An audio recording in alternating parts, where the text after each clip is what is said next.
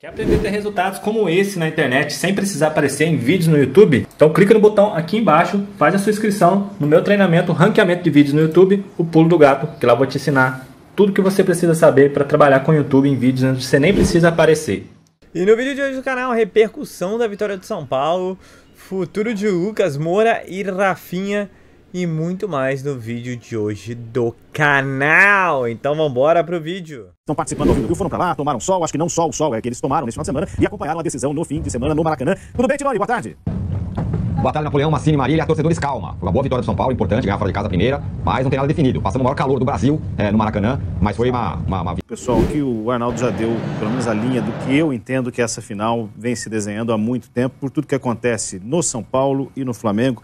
Quero começar pelo Tirone, para esticar um pouco mais o raciocínio que o Arnaldo trouxe, e que a gente percebe nas respostas do São Paulo e na ausência de respostas, não que não é, existam, a gente vai exibir é, oportunamente, mas uh, do Flamengo. Porque o Flamengo vive um ambiente muito tumultuado, sempre, há muito, né? Dá para dizer que desde a saída do Jesus, porque nem o, o Rogério sendo campeão serviu.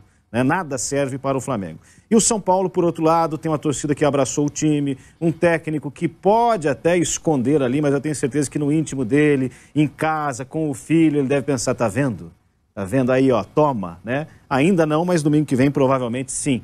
Então, o, o Tirone, queria continuar mais no, no âmbito da, do, do astral, porque é muito claro que o Flamengo precisa ser campeão para se provar de novo. E o São Paulo quer muito o título. Isso, para mim, faz diferença. Ah, eu acho que o Arnaldo falou, vocês também falaram aí, acho que essa é a principal diferença, né? Se você olhar um elenco e de outro, e outro, o elenco do Flamengo, é claro que é melhor.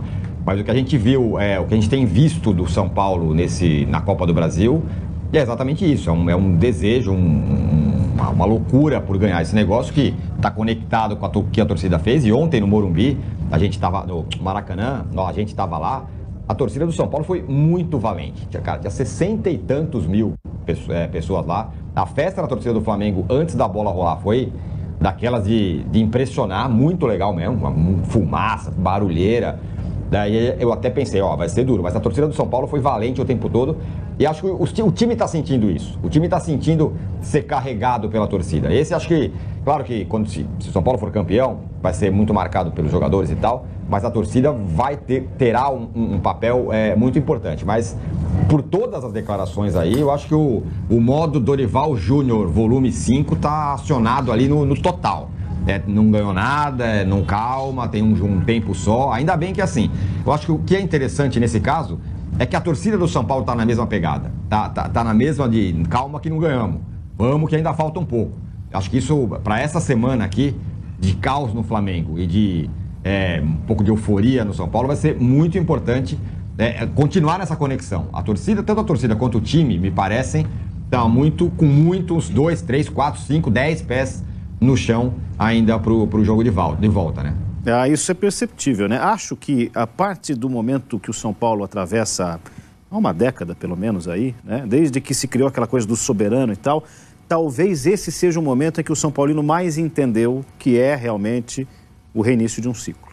Porque se você fala com o São Paulino hoje, olha, tá com a mão na taça, a primeira reação é assim, não, não, calma, calma. Como é que o Arnaldo abriu?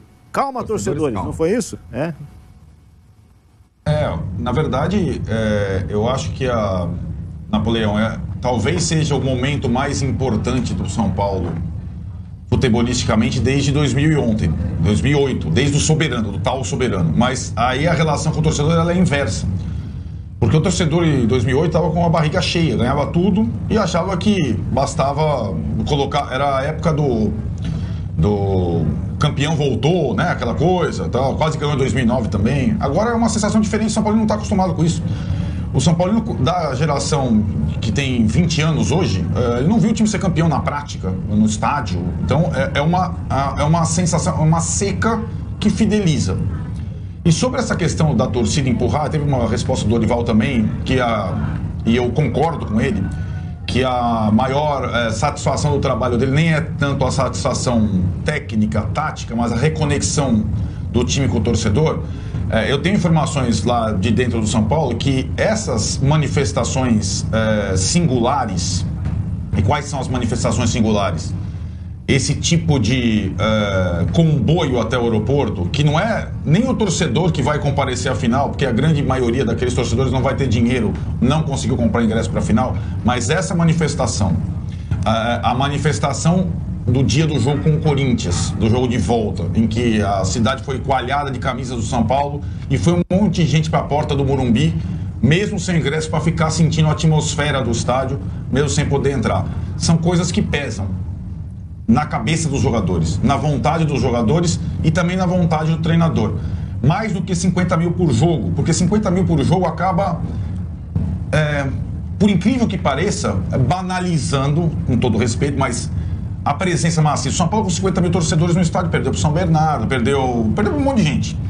Mas algumas demonstrações dessa fidelidade, dessa seca, dessa volúpia, elas contagiam o elenco mesmo quem já ganhou muito, que não é o caso do Caleri, por exemplo, mas como o Rafinha e o Dorival. Se vocês repararem, pro Dorival Júnior é mais significativo na carreira ganhar dois títulos pelo Flamengo, que ganha quase sempre, ou ganhar um título inédito pelo São Paulo, que vive uma seca de 10 anos. Pensem. Ah, o que é, é mais momento. marcante para a carreira dele? Porque o Flamengo tem aquela mania, eu discordo muito, de que qualquer um ganha com o Flamengo. Eu discordo, era como qualquer um ganhava com o São Paulo. Só o Murici ganhou, né, Tirando? É. É, mas ele vive esse momento hoje. Qualquer, põe qualquer um lá que o Flamengo ganha. Não é assim. Mas fica essa imagem. O São Paulo não. Se o São Paulo vence esse campeonato, putz, o Dorival vai colher esses louros, será a maior, maior, conquista da carreira dele. Então, essa ansiedade, essa situação, essa coisa que move o São Paulo em relação à Copa do Brasil, que teve Palmeiras pela frente, Corinthians pela frente agora o Flamengo, ela ainda precisa da chancela do capítulo final. E esse capítulo final, ele é duro, é como disse o Tironi, é pesadíssimo, porque tu, vem tudo isso.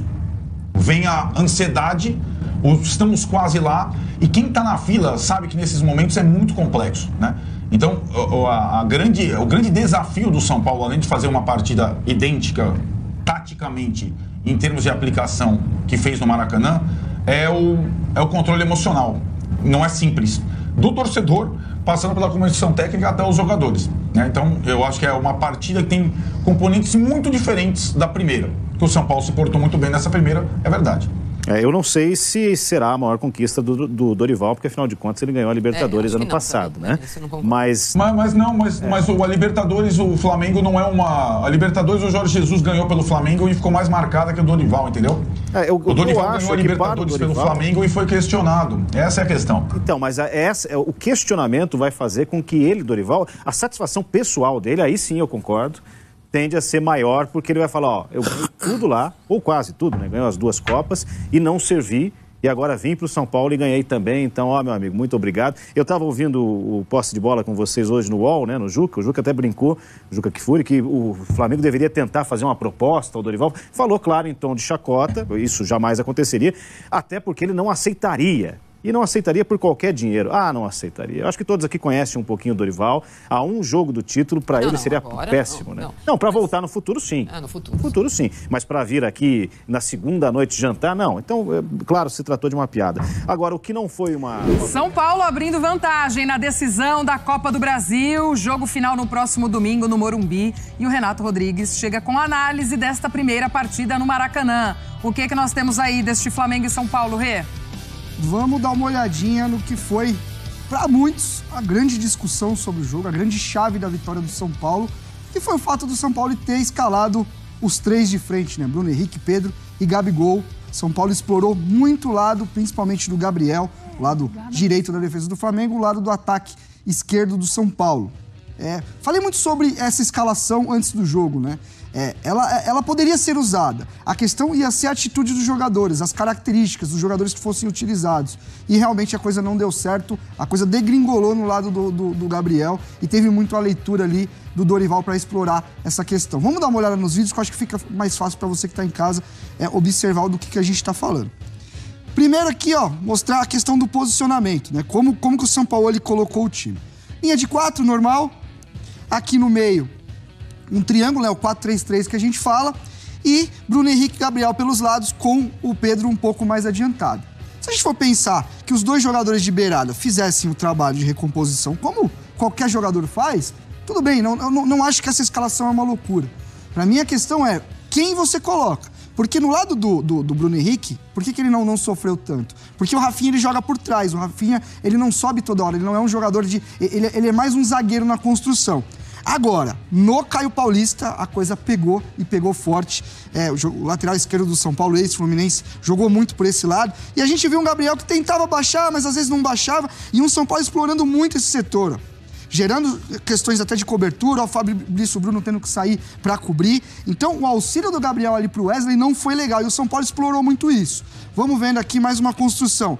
Olha onde está posicionado o Gabriel e aí a gente tem que entender o que, que o treinador pediu.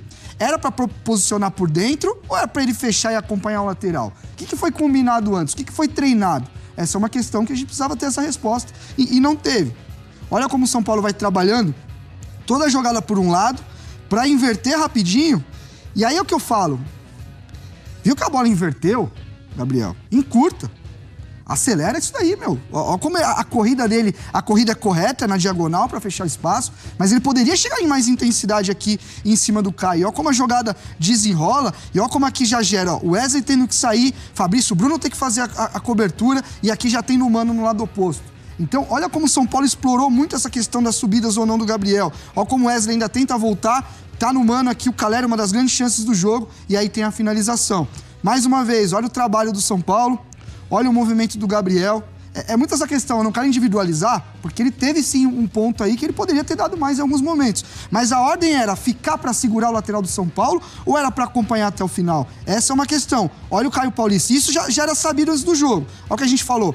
Rafinha por trás, trabalhando por trás como zagueiro. E olha o Caio Paulista como ele vai se embora. É, a ideia é essa. Quem abre o campo lá do outro lado é o Wellington Rato. São Paulo tem jogado assim há muito tempo. Olha como o São Paulo vai rodando bem a bola, vai tentando fazer esse trabalho e daqui a pouco vai achar o Caio Paulista. Gabriel, mais uma vez, ó, fechadinho por aqui, aqui ele até retornou, tá correto. Mas aí chega um momento, São Paulo vai desenvolver toda a jogada e foi. Aí aqui já, a gente já tem, ó, o Nestor vindo com Wesley, o Caleri com o Fabrício Bruno. E olha o Caio Paulista como é que ele tá aqui. Tranquilaço. Você tem ainda para sentar aqui e tomar um sol, tranquilão, de boa. A bola acaba não entrando nele, a bola é no Caleri. Mas olha uma situação de dois contra um em cima do Wesley aqui. Se essa bola vem com um pouco mais de força, o Caio tinha tempo de dominar, finalizar, tinha toda a tranquilidade no jogo. Aí aqui o lance do gol, né? São Paulo sai de, um, de uma região de pressão, muito bem o São Paulo aqui nesse posicionamento. Ó. Flamengo fecha ali no lado da bola e aí tem invertida. No momento que tem invertida, olha onde está o Gabriel. Gabriel tá fechado com o time no lado da bola, por isso que eu tenho falado. Isso é uma ordem, isso é, é algo que tinha que ser pré-estabelecido. No momento que o São Paulo tira a bola da pressão, olha o corredor. Olha o movimento todo da linha defensiva do Flamengo tendo que balançar para esse lado para fechar. Olha como o Caio vem, Olha o movimento do Nestor, partidaça do Nestor, inclusive acertou demais o, o, o Dorival. Nestor ataca as costas do Wesley que saiu, gera todo o movimento. E aqui a gente tem que falar também, né? Mas, gente do céu, o Ayrton Lucas nesse lance aqui é sacanagem. Ele deu uma largada no, no, lance, não tem falta, não tem nada, tem um contato, ele se joga, ele não pressiona o Caleri. Ele poderia até ter perdido a, a disputa no alto. O Caleri é muito bem de cabeça. Mas tem que pressionar, tem que colocar alguma dificuldade, e não foi o que aconteceu. Então, é, essas escolhas, a postura do time, a não organização, coletivamente, mais uma vez, o Flamengo não existiu. E por mais que tenha mais individualidades, mais qualidade, a gente viu o time mais estruturado, o time coletivamente mais sustentado levar vantagem no Maracanã. Falar agora sobre o São Paulo, informação super importante. O título da Copa do Brasil no próximo domingo pode acabar com o jejum do tricolor no torneio. O São Paulo nunca venceu essa competição, apesar de ser um dos maiores campeões do futebol nacional. O São Paulo vai garantir 70 milhões de reais de prêmio, prometido pela CBF ao vencedor em caso de título. São Paulo também assegura vaga na Libertadores da América de 2024 com a conquista e, além de tudo isso, fica muito, mais, muito, mais, muito mais perto de manter Lucas Moura na próxima temporada. Ninguém vai dizer isso de forma aberta, mas está muito claro dentro do São Paulo que a conquista de um título como a Copa do Brasil e a classificação para a Libertadores são os trunfos que o São Paulo precisa para prorrogar o contrato do Lucas Moura. Jogador recém-contratado, vínculo somente até dezembro. Ele não tem nenhum acordo com o Los Angeles Galaxy. As negociações com o time americano foram assim. suspensas e o Lucas está muito focado apenas nessa temporada pelo tricolor. Mas as pessoas mais próximas apostam que o Lucas ficará no São Paulo em caso de conquista de título da Copa do Brasil e a garantia da Libertadores no próximo ano. Ele está muito animado, está muito contente. A esposa do Lucas Moura chegou a, a postar um texto demonstrando todo o carinho que, o, que a família tem pelo São Paulo e a importância que esse título da Copa do Brasil representava especialmente para o jogador. Também vazou um vídeo do filho do Lucas Moura cantando uma das músicas da torcida organizada, super ambientado e focado com o São Paulo. Tricolor está convencido de que a conquista do título no próximo domingo é o passo decisivo para a manutenção de um jogador super importante. Ainda que o Tricolor tenha de melhorar a condição do Lucas para a próxima temporada, isso está muito claro. O presidente Júlio Casares já acenou para o Lucas com um aumento salarial. Ele aceitou uma condição específica para esses meses finais do ano. Em caso de permanência, aí sim o São Paulo vai oferecer uma condição financeira bem melhor e também vai buscar ajuda de parceiros no mercado. E você, São Paulo com várias atualizações, quero começar explicando o porquê de Alexandre Pato não ter ido nem sequer para o banco de reservas. Opção do Dorival Júnior, que levou 25 atletas para o Rio de Janeiro e acabou cortando o Pato, o Young e o Rodriguinho do banco de reservas, o Pato não tem prestígio, não tem moral, e aí não é nada contra o atleta, e sim com, com em relação às condições. O Dorival entende, por exemplo, que o Juan tem uma capacidade de entrega maior do que o Alexandre Pato. Rames Rodrigues foi para o banco de reservas, mas também não foi utilizado entre as cinco substituições. Pato e Rames devem ganhar alguns minutos ou talvez até serem titulares no meio de semana. Jogo contra o Fortaleza, jogo que antecede a partida de volta no Morumbi. Outras informações que eu queria dividir com vocês sobre o São Paulo. Lucas Moura e Alisson saíram no segundo tempo sentindo. Existia preocupação de se eles poderiam virar dúvida ou problemas para o jogo de domingo. O Dorival Júnior assegura que ambos estarão em campo. Foi apenas um desgaste físico, coisa como cãibra, serão recuperados ao longo da semana e estarão em campo. O São Paulo não tem nenhum desfalque por suspensão, embora tivesse seis jogadores amarelados ou pendurados. Para completar, queria falar sobre Rafinha a chance de o Rafinha se aposentar em breve é grande. Foi o próprio lateral quem disse isso depois de grande atuação contra o Bruno Henrique. O lateral direito fez grande jogo e deu pouquíssimas oportunidades para o atacante adversário. Rafinha que completou no último dia 7 de setembro, 38 anos de idade, está indo para a reta final da carreira, ele chegou a dizer o seguinte, abre aspas, vamos esperar acabar a temporada, mas acho que ano que vem será o último da minha carreira antes da aposentadoria. O Paulo... Começando a falar, né, é, do que os ocorridos pós-domingo, vitória do São Paulo no Maracanã, né, o beijinho do Gabigol pro Dorival. Realmente, se fosse o contrário, eu não ia gostar. Ainda falando uh, do jogo em si, é, novamente, São Paulo fez um bom jogo, mas é, o São Paulo ele também deixou a desejar, tanto é que vazou aí o áudio da Globo, o pessoal muito pé da vida, né? Mas assim, todo mundo sabe que quem começou a conversa foi o Eric Faria, que é flamenguista roxo. E ele tá, chamou até o São Paulo de imbecil. Entendeu? Foi em off. O Roberto, por exemplo, é São Paulino. E houve uma conversa entre eles. O assunto foi o Flamengo porque o Eric Faria começou a conversa falando sobre o Flamengo. E realmente foi decepcionante o primeiro tempo do Flamengo. E o primeiro tempo do São Paulo, o São Paulo fez tudo certinho. Entendeu? E que continuem falando do adversário e a gente continue ainda comendo pelas beiradas. Simples assim. Entendeu? Então vamos acompanhar essa semana aí, semana importantíssima aí. Contagem agressiva para o jogo contra o Flamengo. Ah, mas tem o jogo do Fortaleza. Fortaleza vai com time reserva, vai com Pato, Ramos e companhia.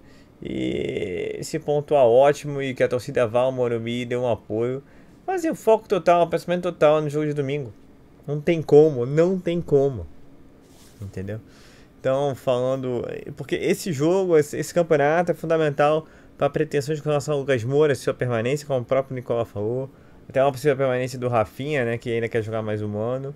E de jogadores que estão em fim de contrato. E de jogadores que estão em fim de contrato em outros clubes. Que o São Paulo se torna mais interessante, porque vai disputar Libertadores, disputa a Supercopa aí, né, do campeão do, do brasileiro contra a Copa do Brasil, entendeu? Ele atrai jogadores de menor potencial. E lembrando, por exemplo, o Flamengo, Everton Ribeiro, fim de contrato.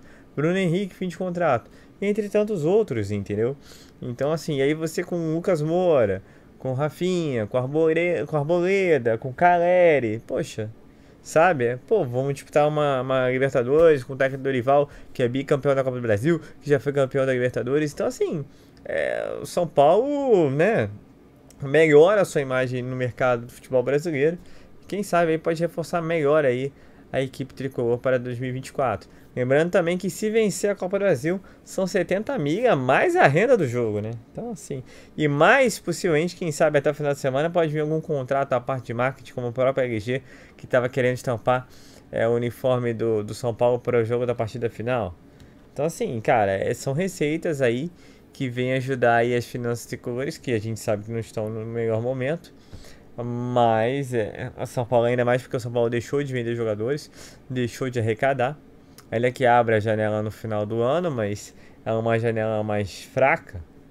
Né? O São Paulo perdeu a oportunidade, mas manteve seu elenco em prol de um resultado esportivo que pode vir a acontecer no domingo. Mas sim, pés no chão, não tá nada ganho, um passo de cada vez, é jogar com intensidade, vontade, anulando os pontos fortes do Flamengo para que domingo no Morumbi a gente possa gritar é campeão. Então assim, agora essa semana vai ser uma semana cheia de notícias, cheia de novidades.